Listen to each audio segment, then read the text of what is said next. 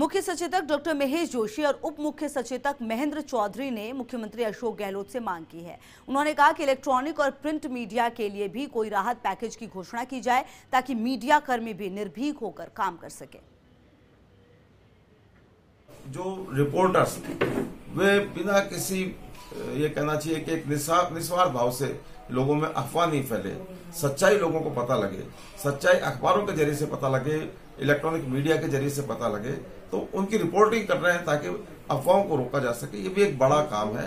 तो ऐसे पत्रकारों को जो कोरोना वायरस प्रभावित इलाकों में अपनी ज़िम्मेदारी निभा रहे हैं, रिपोर्टिंग कर रहे हैं, उन्हें भी कोई पैकेज ऐसा दिया जाए कि कल किसी कारण से अगर कोरोना वायरस से वो उनका जीवन प्रभावित होता है तो उन्हें भी वो सुरक्षा मिल सके।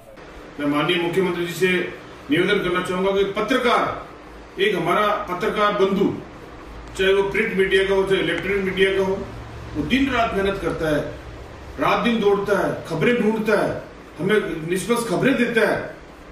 और उस पत्रकार को भी किसी प्रकार का संक्रमण इस परिस्थिति के अंदर हो सकता है। इसलिए मुख्यमंत्री से मांग करना चाहते हैं कि पत्रकार बंधुओं के ऊपर भी, मुख्यमंत्री जी की वैसे भी विशेष रूप से अनुकंपा मुख्यमंत्री जी की विशेष रूप से कृपा रही है।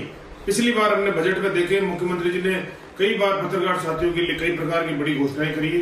तो सम्मान माननीय मुख्यमंत्री से निवेदन करना चाहेंगे कि इस विकट घड़ी के अंदर जो पत्रकार रात दिन एक किए हुए हैं, चौबीस घंटे, सात दिन लगे हुए रहते हैं, उनको उनके भी एक रात पैकेज की घोषणा की जाए ताकि उनको और उनके परिवार को भी एक राहत मिल सके। मैं मुख्यमंत्री से ये निवेदन करना चाहता